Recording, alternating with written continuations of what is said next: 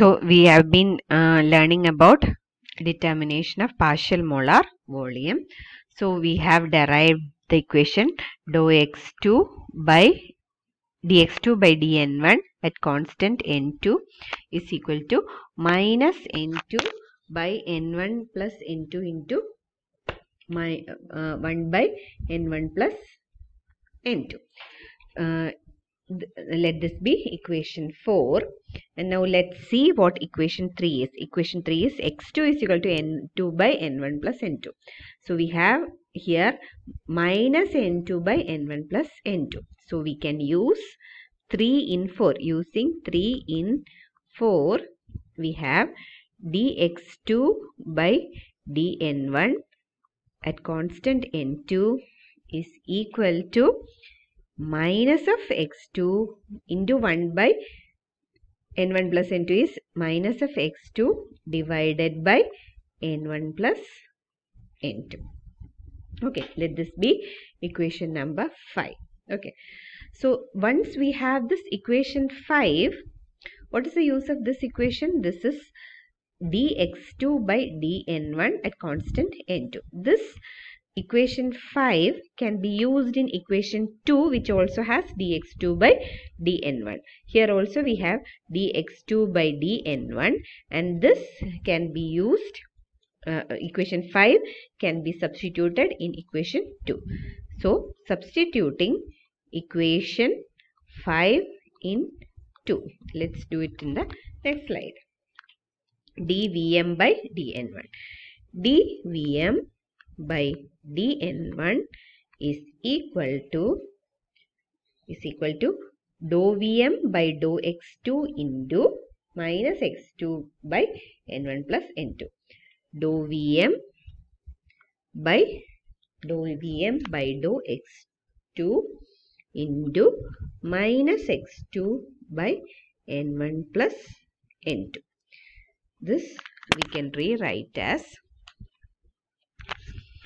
um, dou dvm dou vm by do n2 let let's keep n to a constant is equal to minus of x2 by n1 plus n2 into do vm by do x2 which will be at constant x1 okay?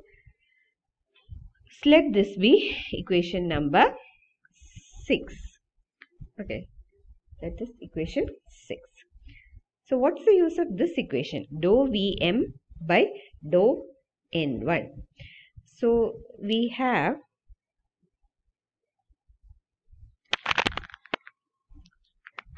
the equation what is our equation 1 our equation 1 is v bar 1 is equal to n1 plus n2 into dou vm by dou n1 plus vm here we have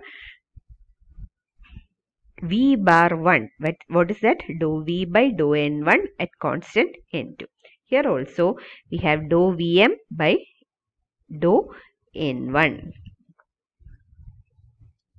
dou vm by dou n1 equation 1 here dou vm by dou n1 in equation 1 there is dou vm by dou n1 and for that we can substitute equation 6 substituting equation 6 in 1 what is equation 1 v bar 1 is equal to v bar 1 is equal to n1 plus n2 into n1 plus n2 into dou vm by dou x1 that is minus x2 by n1 plus n2 into dou vm by dou x2 at constant x1 there is one more term and that is plus vm plus vm.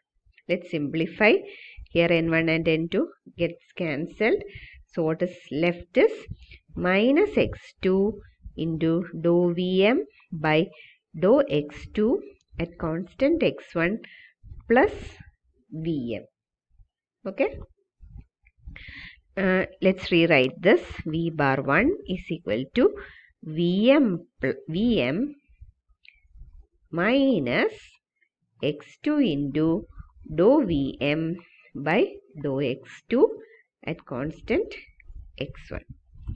Okay, this is the final equation that we get. Okay, v, V1 is equal to Vm minus x2 into d uh, Vm by dou x2 at constant x. Okay, now let's write this equation as an equation for a straight line for a for a curve how can we write this this is y is equal to mx plus c. Uh, the equation should be y is equal to mx plus c. So we have to have up uh, all the terms as positive. How will we write all the terms as positive? That can be done by taking the minus sign to the other side. So we can write vm is equal to v bar 1 plus x2 into dou Vm by dou Vm by dou x2 at constant x1. Okay, this is in terms of 1, component 1.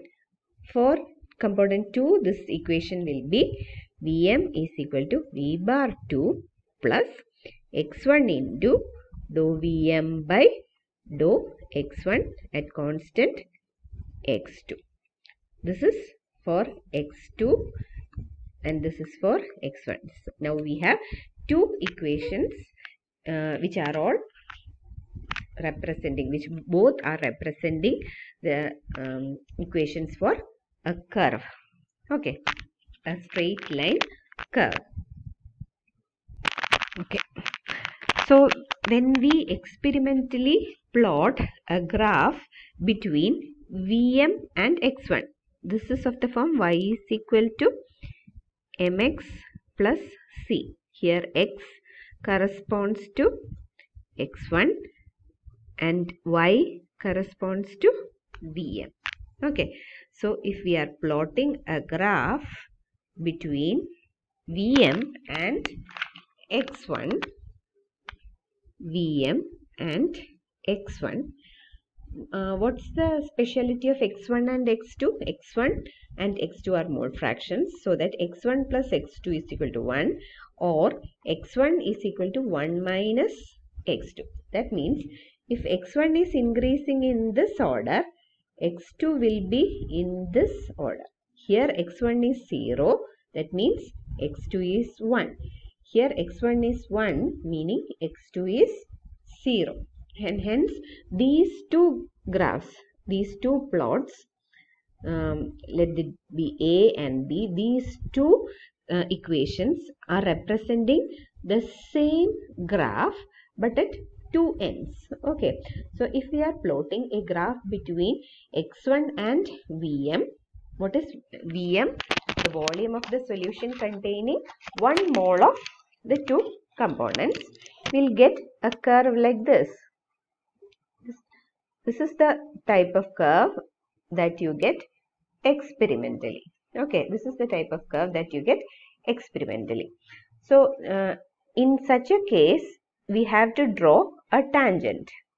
And this tangent will have intercepts and at this intercept it will be uh, uh, this is for uh, this curve is for 0 what is 0 here?